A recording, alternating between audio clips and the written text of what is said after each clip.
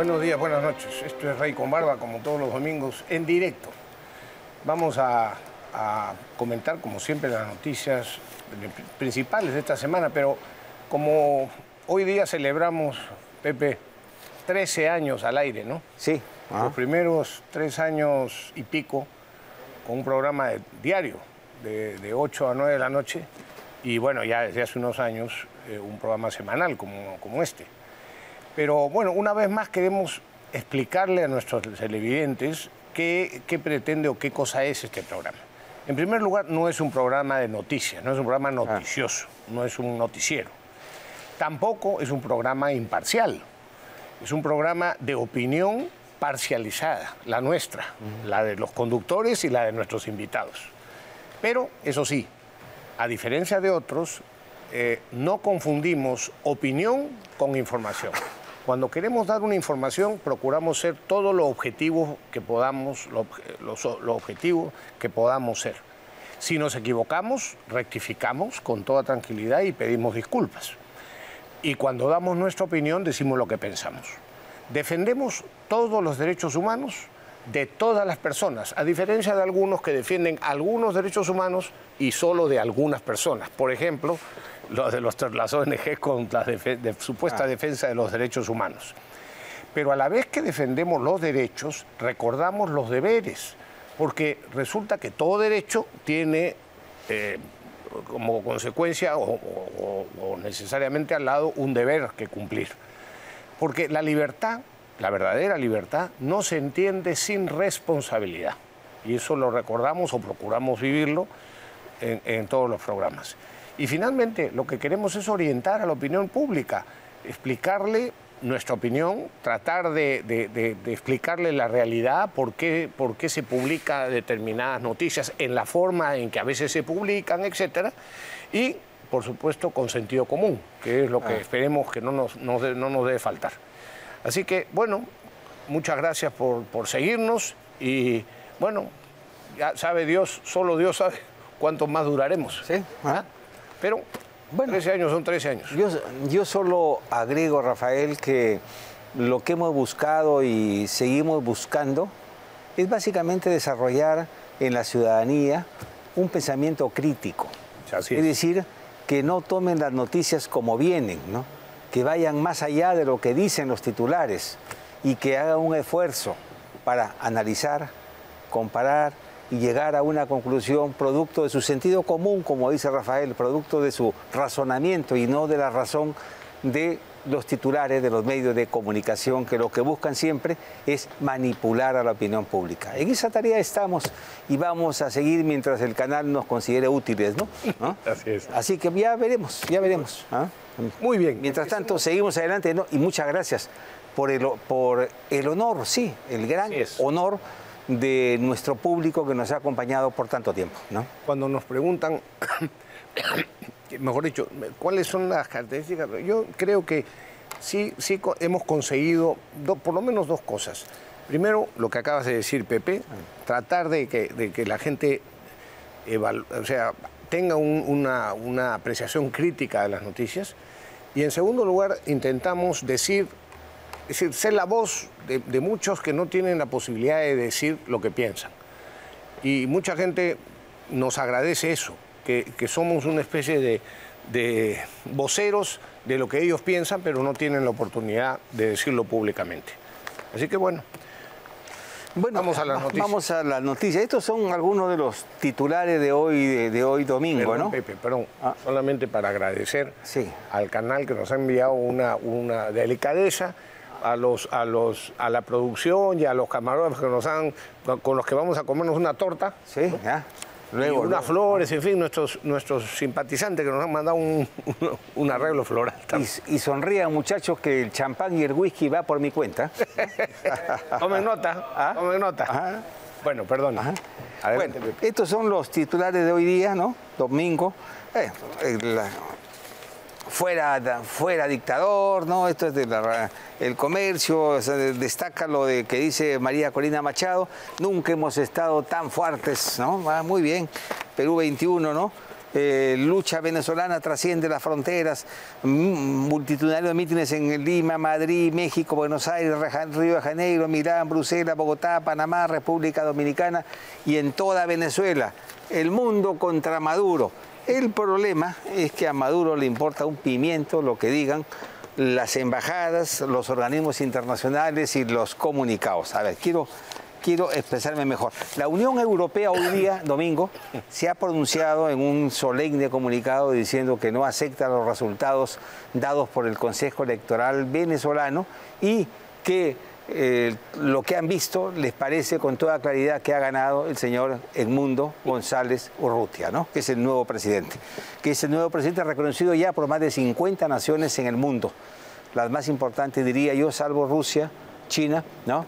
Y... Estados Unidos creo que no lo ha reconocido. claro que no, claro que no. Ha reconocido a González Edmundo González Urrutia. Estados Unidos, Estados Unidos ya, ya lo reconoció. Ah, bueno, porque al principio ah. dijo eh, que, reconocía que, no eran confiables los resultados, pero ya me alegro que lo haya reconocido. Y hay, otra gente, otra gente como Cristina Kirchner, Lula, Petro, ¿no? que se han rectificado y ahora sí están pidiendo que enseñen las actas, que, no, que hay muchas dudas, que por favor se comporten, que no queremos conflictos en América Latina. Pero es una forma de prolongar la agonía, porque hay otros que dicen, no, vamos a presentar una denuncia ante la Corte Penal Internacional.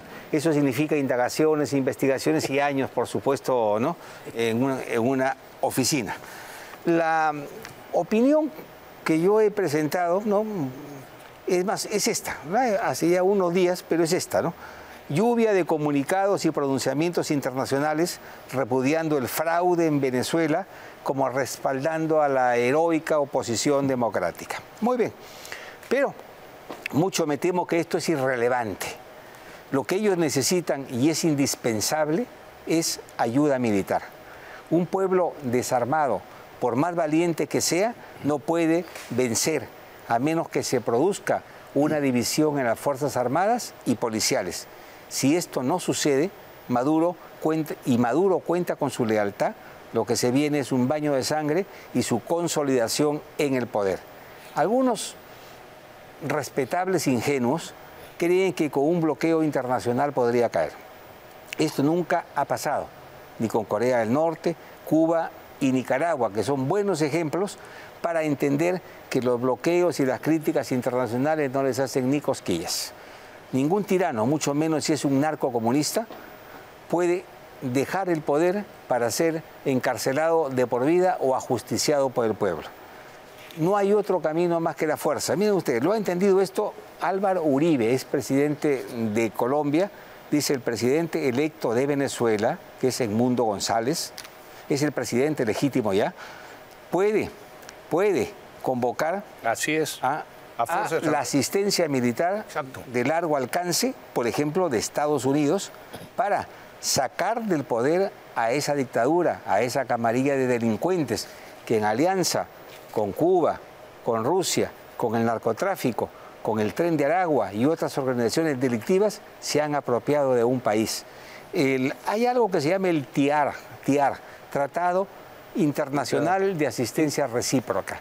Y hay un artículo aquí, el artículo 6, que dice con toda claridad, y es firmado por Venezuela también, por todos los países de este continente, que, que puede haber una solución militar cuando un país pierde su soberanía e independencia política en mi opinión y la de, la de muchos, Venezuela hace bastante tiempo ha perdido su soberanía y su independencia política, porque hoy depende de Cuba, de, Irán, de Rusia, del narcotráfico y otros delincuentes. Es un país que está asolado y conquistado por mafias. En consecuencia, el presidente legítimo elegido en las urnas en Venezuela, Edmundo González Urrutia, puede pedir la asistencia en base a este tratado firmado desde 1947 y ratificado por la propia Venezuela en 1919. Así que, ah, así que muy bien. esa es la solución. Ese, es, el, camino. La única... de otra manera nos arriesgamos a lo que ha pasado siempre. Grandes manifestaciones, multitud de comunicados de apoyo y al final la gente se cansa y el gobierno se va consolidando. Igual número de muertos, porque los van a matar de todas maneras. Yo Es, clarísimo, la, única solución que se ve es esa, efectivamente. Yo sí quiero destacar una cosa, Pepe, porque a veces quizás no, no, no, hemos profundizado, o algunos no han profundizado debidamente, la magnitud, digamos, la, sí, la magnitud del mérito de María Corina Machado, porque no es solamente una mujer honesta y valiente, que eso es evidente, ¿no? sino que en mi concepto también es, es una mujer inteligentísima que ha sabido planificar y conducir una estrategia que, que ha sorprendido a propios y extraños. Y, y han consistido básicamente en lo siguiente, además actuando con sencillez, con paciencia, con perseverancia y aparentando ingenuidad.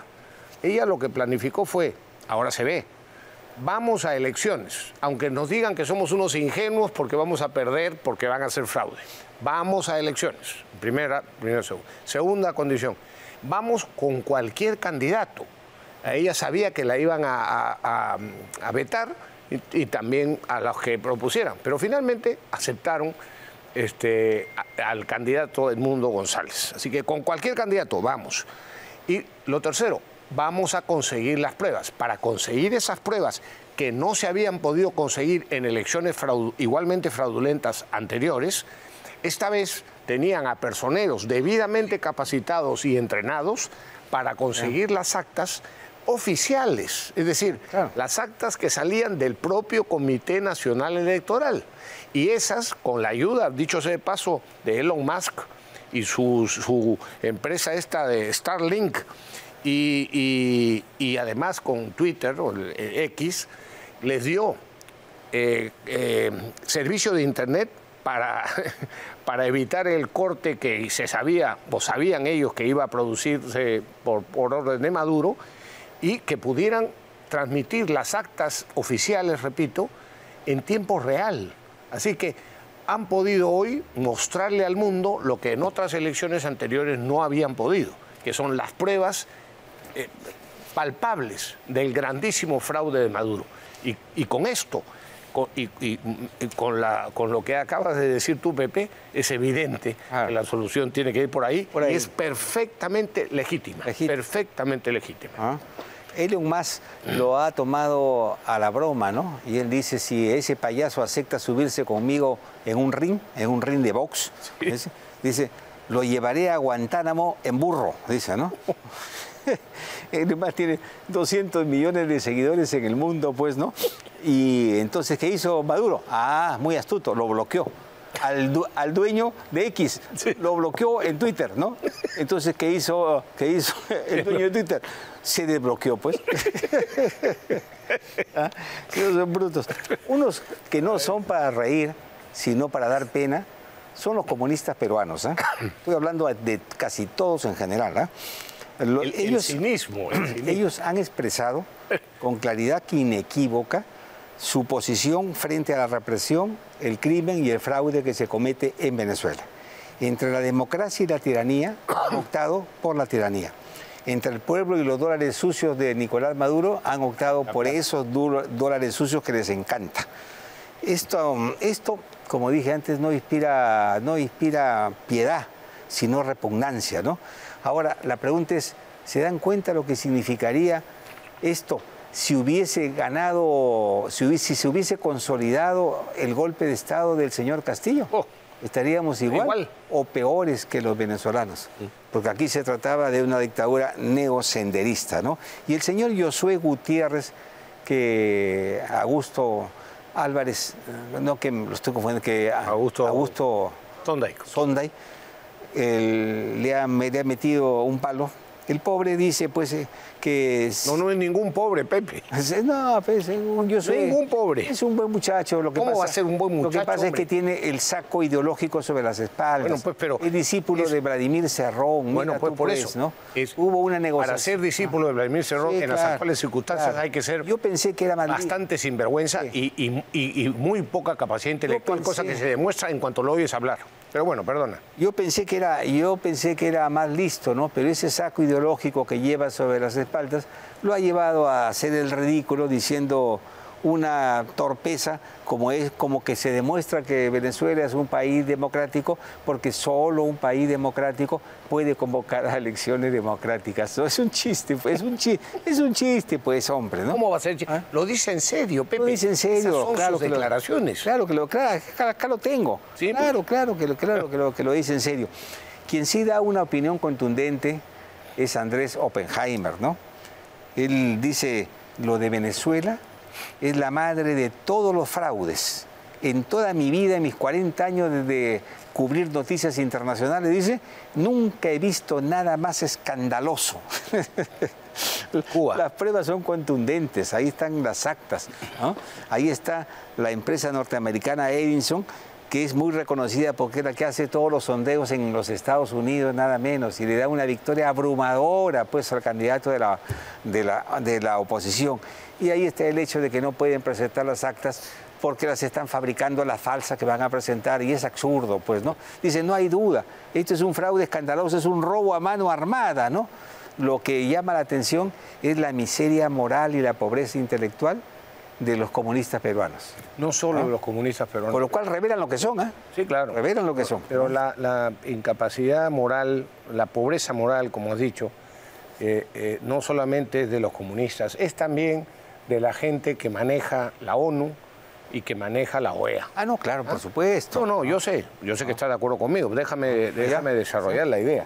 Porque el cinismo que ha demostrado en general, por otras razones y en otros momentos, o que sigue demostrando, ¿no? Las Naciones Unidas, y en este caso concreto, hace pocos días, los, los de, la, Comisión Permanente de la, Organización de Estados Americanos son francamente, el cinismo ese es inaceptable. ¿ah? Y lo peor, lo peor de todo, es que esos cínicos los financiamos con nuestros bolsillos. O sea, del dinero que, nos, que, que, el Perú nos saca, que el gobierno peruano nos saca de nuestros bolsillos a través de los impuestos, financiamos a esas instituciones que están podridas desde el punto de vista moral y desde el punto de vista legal. Y en, y en, el frente interno, dicho sea paso, ya que estamos hablando de abusos, solo en este primer trimestre, perdón, primer semestre, Petroperú, escuchen amigos televidentes, ya perdió 452 millones de dólares, solo en el primer semestre de este año, de enero a julio. Desde el 2023 ya Petroperú ha perdido 1.732 millones de soles. Y el gobierno de, la señora Boluarte y el, actual ministro de Economía eh, piensa darles eh, 3 mil millones de dólares en bonos adicionales. ¿Ah? ¿Hasta cuándo? Pregunto. Solamente quiero que me contestan. ¿Hasta cuándo nos van a seguir robando de esta manera? ¿Hasta cuándo? me van a responder. Ahora, ahí dejo la pregunta. Solo, perdón, sí. quizás solo se detendrían si un gran sector de la prensa peruana e, exigiera que se detengan este derroche de dinero y de abuso contra el derecho de todos los peruanos, especialmente de los más pobres. Solo si la prensa ajocha al gobierno a los, y por supuesto a todos los funcionarios de estas, de estas empresas y de estos ministerios que tienen que ver con el tema, solo así podríamos detener este abuso y este derroche. Para acabar con el tema este de Venezuela, Rafael, algunas inquietudes, ¿no?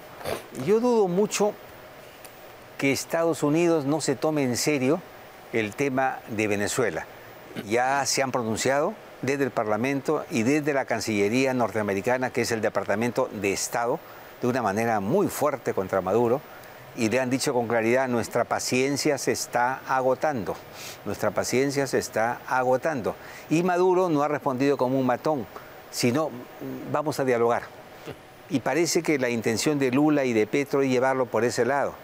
Y si la resistencia venezolana continúa, obligarlo a renunciar evidentemente dándole amnistías, indultos y otra serie de prebendas que me imagino que los demócratas venezolanos podrían aceptar para encontrar una salida que no sea sangrienta. Esa es una posibilidad lejana porque un comunista no deja el poder. Esa es la regla de oro. Esa es la regla de oro, ¿no? Yo Ahora, acuerdo. si Lula y otros lograsen la hazaña de convencerlo de un retiro dorado, entonces, muy bien, muy bien, ¿no? Ahí es, quisiera yo ver. es una posibilidad, Sí, ¿no? sí, no le quito el, el- la- el- Pero, perdón, un eh, cierto porcentaje de posibilidad, solo como posibilidad, no como probabilidad, pero como posibilidad sí. sí.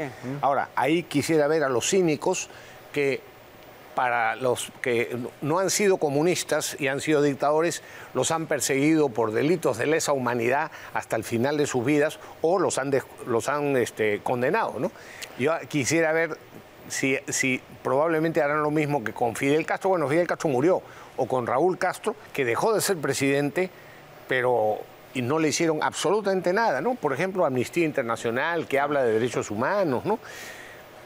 Ahora, Ya quisiera ver yo la hipocresía Ahora, de estos. Nosotros, vemos en los medios de comunicación la pobreza que hoy reina en Venezuela, el salario mínimo vital que de 3 dólares, te imaginan ustedes, ¿no? Llega a 4 dólares. Es un país muy rico, es el país más rico en recursos naturales de América Latina. Tienen todo. Tienen las mayores reservas petroleras del mundo para comenzar. No, tienen eso, pero no tienen mucha más. Ah, tienen gas, tienen minería, tienen para explotar todo. Es un país muy rico, pero gerenciado por comunistas. Y eso significa pues pobreza, hambre, miseria, robos, crímenes. No olvídense, ¿no? Es lo mismo que poner al mando a la- una organización delincuencial. Ahora, la, la- la migración venezolana es aterradora. No hay, en, no hay en los anales de la historia un país donde 8 millones de venezolanos ¿no? se hayan, hayan, Más que en el África. hayan fugado del país. Y cuidado que se pueden ir 2 o 4 millones más, lo cual haría 12 millones. Y las consecuencias, claro, las vamos a pagar todos en América Latina y también los Estados Unidos y también por, por Europa. Pero hay otro factor. Geopolíticamente Venezuela está ubicado estratégicamente de cara a Centroamérica y a Estados Unidos y acá, ¿no? toda América del Sur. Para Cuba es fundamental, porque Cuba ahora vive del petróleo venezolano y de la ayuda venezolana. Sin, sin Venezuela, Cuba se extingue, se apaga Sí, sí, por supuesto. se apaga completamente. Entonces, geopolíticamente, esto es algo que a Estados Unidos le conviene, le conviene mucho. Este es un país que siempre mete sus narices sin permiso de nadie, ¿no? En todo el mundo. ¿Por qué no lo hacen aquí? Y además tienen un documento internacional firmado por ellos también, por Venezuela y por todos los países del continente, el TIAR. La asistencia recíproca cuando un país pierde su independencia y su soberanía. Y Venezuela la ha perdido en manos de organizaciones criminales. Y tienen, tienen toda la potestad y tienen todo el derecho a intervenir militarmente. ¿Por qué no lo hacen y alguna vez hacen una? una, una para aplaudirlos, ¿no? Porque normalmente los gobiernos demo- Ah. demócratas en los Estados Unidos no hacen una en, el, hacen en una. el- en el plano internacional. Y el otro tema para, que la- para cuidarnos, Rafael, que del, por el rebote internacional y lo que está pasando en el Medio Oriente, ¿no? Irán, Israel.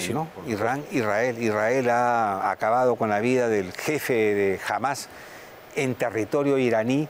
Eso ha sido considerado como una, como una ofensa a su seguridad porque resulta que la carga, que la carga explosiva se la han puesto dos meses atrás. Sí. O sea, han penetrado las casas de seguridad que ellos tienen, han puesto los explosivos en, el- en- en el sitio donde sabían que este tipo podía ir y lo han volado en mil pedazos, ¿no? Pero tú consideras que eso. Eh, no, no, está mal? está muy- no, Ah, no, no, no, no, no, por supuesto. Ese es, un, ese es un juego aparte que nosotros no entendemos ni vamos a, ni vamos a acuerdo, poder pero- entender en su verdadera complejidad, ¿no? Sí, de Así es, acuerdo. ¿no? Pero, ¿eran o no terroristas los Sí, claro que sí, claro que sí, claro, Claro. que sí. Grandes terroristas, Grandes por. Estados Unidos, por Europa y por todas partes. por grandes supuesto, ¿no? genocidas. Así es. Pero eso va a traer consecuencias muy serias, porque Irán se está preparando con todo para una guerra, dicen que total y para destruir Israel. Están bajando aviones todos estos días cargados de no sé se sabe qué, de Rusia, ¿no? Sobre todo de Rusia. Y Netanyahu, por su lado, ha respondido que ellos están preparados para responder en todos los frentes y que su ataque será en proporción a los ataques que ellos reciban. Y detrás de, de Israel está, por supuesto, Estados Unidos, que le han advertido a Irán y al mundo que ellos respaldan a Israel con todas las fuerzas, con todas sus fuerzas, ¿no? Y que no van a permitir de ningún modo un cargamontón contra Israel. Así que estemos atentos porque aquí puede desencadenarse un conflicto muy serio, pero muy serio, ¿no? Ya pues, por lo pronto todos los países de Europa le han pedido a sus connacionales que abandonen, que abandonen Teherán, es decir, Irán, que, abandonen Palestina y que salgan de la zona de un probable conflicto que puede desencadenarse y que puede ser además feroz, ¿no? y que va a subir los precios del petróleo, de las materias primas también y que va a tener consecuencias en todo el mundo. Así que estemos atentos, ¿no? Bueno, y, volviendo al, tema nacional, Pepe, hay eh, el tema de la imprescriptibilidad de los delitos de lesa humanidad. Una vez más, en resumen, cuando el Perú se adhirió a la Convención de Imprescriptibilidad de Delitos de Lesa Humanidad, lo hizo con una expresa condición que la estableció en la propia resolución legislativa. Esta adhesión solo surtirá efecto para los delitos que se cometan con posterioridad al 9 de noviembre del 2003. Esa fue la condición que le pusimos a Naciones Unidas. Cuando uno pone una condición para ser socio de un club, el club tiene dos opciones. O simplemente acepta la condición, la condición en cuyo caso uno es socio, pero con el derecho a, que, a exigir que le respeten la condición, o no, o no le respetan la condición, en cuyo caso no, se no nos hemos asociado, porque la condición para, la, para, adherirnos, es decir, para ser socios, eh, fue esa. Bueno, Naciones Unidas nos aceptó la condición, como se la aceptó a muchas otras naciones. De manera que la ley que ha, precisado cuáles son los alcances de la prescriptibilidad que aprobó el Congreso en dos, en dos este, eh, votaciones es completamente viable. Pero la cobardía del Poder Ejecutivo lo ha llevado a dejar pasar los, los 15 días, creo que son, o 10 días útiles, ya no recuerdo. Pero en fin, no importa, ha pasado el tiempo y el, y el Poder Ejecutivo cobardemente ha actuado, mejor dicho, ha dejado de actuar. No ha observado la ley, pero tampoco la ha promulgado. Entonces, ¿a quién le corresponde ahora constitucionalmente promulgar esa ley? Al Congreso de la República. Mm. Que además lo tiene que hacer. La Constitución establece que cuando una ley aprobada en el Congreso no es observada por el Ejecutivo en el plazo que tiene para observarla, es eh, eh, promulgada por el Congreso. De manera que espero que el Congreso la actual Junta Directiva del Congreso no actúe con la misma cobardía que en este tema viene actuando, con el que viene actuando el Poder Ejecutivo. Vamos a ver, esperemos que no se demore más de un día más, porque ya el plazo ha, terminado y, el Congreso ya está incumpliendo el mandato constitucional. Por cierto, mm. Tienen que forzarse un poquito más los periodistas no voy a decir el nombre del redactor, pero aquí en Expreso, en la página 7 del, día de hoy, de la edición de hoy, sale un titular que dice, los militares cometieron excesos, que cometieron excesos deben ser sancionados. Y, arriba, en subtítulo, aunque exista la ley de prescripción de lesa humanidad. Y esto se lo atribuyen a José Williams, el general Williams el señor Luna no ha dicho lo que dice el titular, no lo ha dicho. Ha dicho todo lo contrario. Ha dicho, yo, estoy, yo no estoy diciendo que no se juzgue y, se sancione eventualmente a los que han incurrido en, asesinatos, por ejemplo. Lo que está diciendo eh, eh, eh, Williams es que no es que aunque exista la ley, no, no. Lo que él ha precisado es cuál es el sentido de la, de la precisión del, de la imprescriptibilidad y por tanto dice, bueno, si tienen que juzgarlo como asesinato, que lo juzguen como asesinato, pero si el asesinato se produjo hace 30 años, ya prescribió.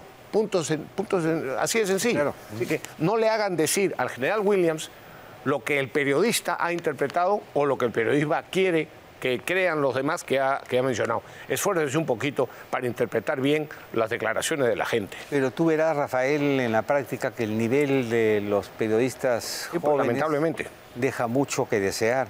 Incluso el nivel de los cronistas parlamentarios, ¿no? Sí, claro. En la época, en la eh, época nuestra tú podías conversar con ellos, ¿no? Eran señores. Tomarte un café, hombres muy informados, muy educados y muy competentes. ¿ah? Hoy día no saben ni lo que preguntan, o sea, no entienden ni siquiera las preguntas que ellos hacen. Hacen unas preguntas espantosas, ¿no? Así es. Ah, una. Vergo- Pero- vergüenza le debiera dar a los medios. Antes había, había un poco más de clase también en los viejos parlamentarios. Yo recuerdo una vez muy gracioso, ¿no? Que a Sánchez, a Luis Alberto Sánchez, ¿no? Un sabio, le hicieron una, una pregunta pero muy torpe, ¿no? Y él volteó y le dijo, infórmese mejor y para que deje de preguntar cojudeces, ¿no? Por supuesto. Ya, Es que Exactamente. ¿Ah? Tampoco hay que tener, eso es una recomendación a todos los políticos y especialmente a los parlamentarios. Bueno, no digo a los parlamentarios sinvergüenzas ni a los parlamentarios incapaces, porque esos o no me van a entender o va a ser peor para ellos. Me refiero a los, a los parlamentarios capaces y a los que vengan en el futuro, que también serán algunos de ellos capaces y honestos. No hay que tenerle miedo a los medios de comunicación ni a los periodistas. Cuando te pregunten una tontería hay que decirle eso, oiga señor, o señorita, o señora, no pregunte usted tonterías, infórmese bien, como, como, Ah, como dijo Luis Alberto Sánchez. Oye, como lo hemos hecho muchas veces Sí, en, sí, sí, en ah. nuestra Ah. época, no hay que tenerle miedo. Lo único que pueden hacer es difamarnos. ¿Y cuál es el problema? Ah. Ay, señor. No hay que tenerle miedo a las críticas ni, a, la- ni a las difamaciones. Hay que tenerle miedo a la demagogia y a la falsedad, a la mentira. No, y ese es el gran problema que esta prensa tiene, por ejemplo, con el Congreso. Esta claro. es la primera vez que la prensa casi no tiene ninguna influencia sobre el Congreso de la República, que es autónomo, independiente y hace lo que se le da su gana al margen del poder de la prensa.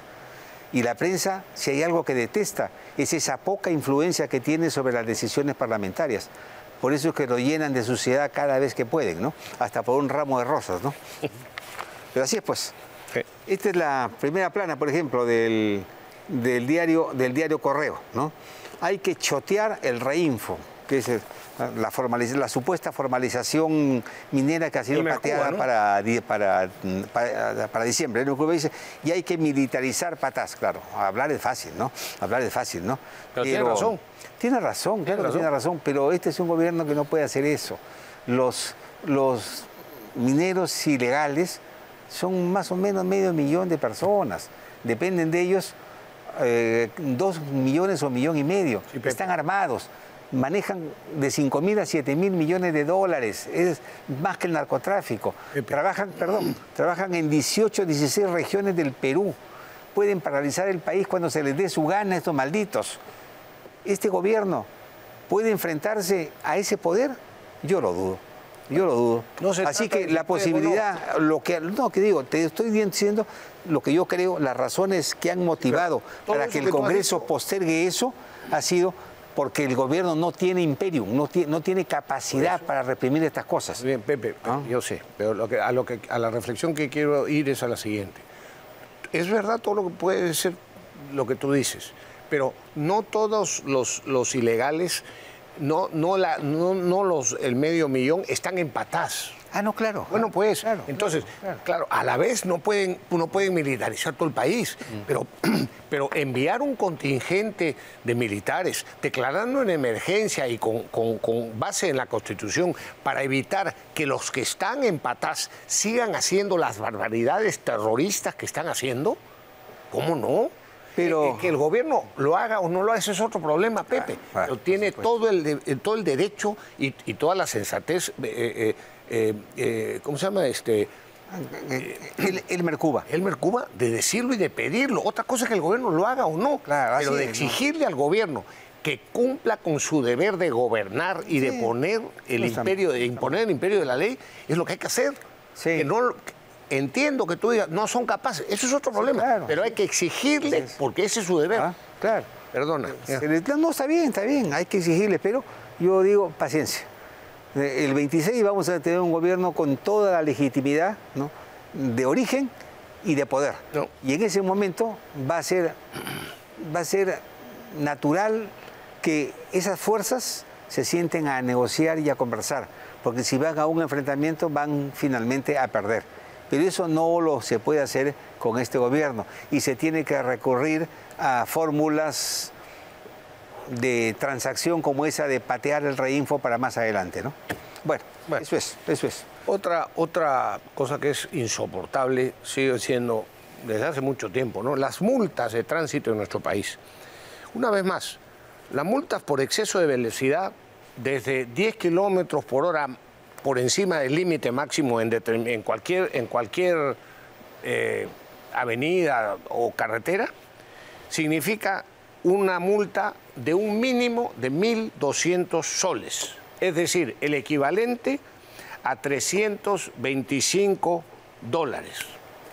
325 dólares porque yo me pasé o porque alguien se pasó en, 10, en 11 kilómetros por hora del límite máximo. A ver si hay derecho. En, en, yo puedo dar testimonio. En España me pasó hace un año que eh, iba en un auto alquilado, me pasé del límite de velocidad en algún momento en la, en la carretera este, de un sitio a otro y me llegó después a, Perú, me llegó la multa de que, me, que me transmitía la empresa de alquiler de autos. ¿Cuánto era la multa? 35 euros. Es decir, el equivalente, 30 euros, el equivalente a 140 soles. Bueno, yo les digo con toda tranquilidad y con toda seriedad, son unos ladrones. Los del Ministerio de Transportes y los, del, los que permiten este asunto en el municipio de Lima, en el SAT, son unos ladrones, porque esto está hecho para coimear o para abusar de la gente. Y sugiero, el Congreso tendría, puede perfectamente eh, eh, eh, em, sancionar una ley que ponga un límite máximo a las multas. Por ejemplo, sugiero, podrían perfectamente en el Congreso decir que las multas que pueden poner, por ejemplo, por tránsito, el límite máximo de una multa puede ser el equivalente a un 3% de la UIT. ¿Cuánto es la UIT? 5.000 soles, ¿no? 5.100. 3% son 150 soles, ya está bien, está bien.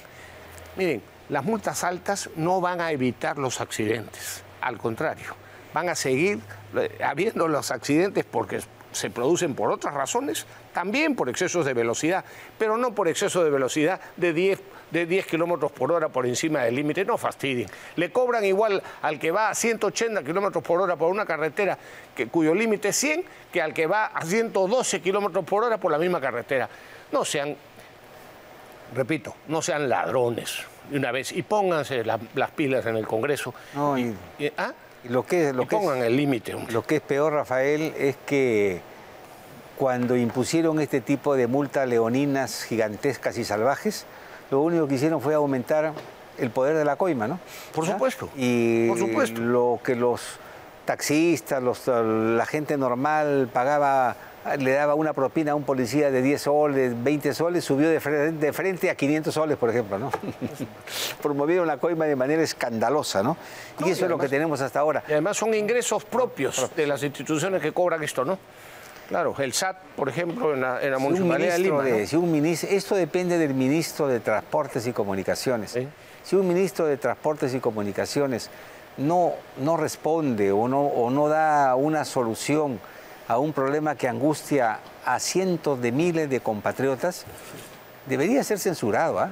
Debería ser censurado por falta de humanidad, por falta de sentido común, por falta, por falta. Pero sí, ¿Ah? estoy de acuerdo contigo, pero el Congreso también tiene, también tiene la posibilidad de poner un límite. Por eso, claro, ah, claro, claro que sí, claro que sí. O sea, que no lo hace el ministro, ese, tipo, ese tipo de ministros insensibles y que actúan sin piedad con los ciudadanos peruanos deberían ser despedidos de inmediato porque no merecen estar en la función pública. A la función pública se llega para ayudar, para servir, para proteger, no para aprovecharse de ella ni para robar, que es lo que hacen los, y aprovecho. No, diré los ministros actuales, pero lo hacen muchos burócratas. pero los ministros que no tienen sensibilidad no deben estar en el poder.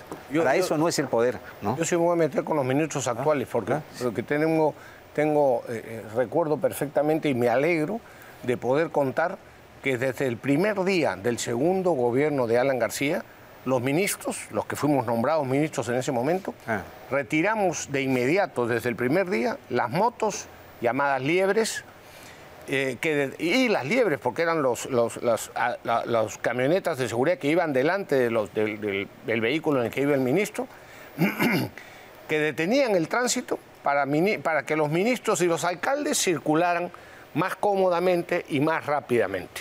Esa actitud de detengan a los demás para pasar yo se impuso otra vez en los siguientes gobiernos ocupados por personajes atorrantes, henchidos de vanidad y de soberbia, que muestran la mala educación que han recibido en sus propias familias, la guachafería de sus actitudes, la indecencia de su comportamiento, la pretensión y el complejo que demuestran y el abuso y el atropello al que someten a los ya sufridos ciudadanos con esas prepotencias tan indignantes y miserables que reflejan la pobre idea que tienen, como acabas de decir tú, ah. Pepe, del pequeño y temporal poder que ostentan por un tiempo.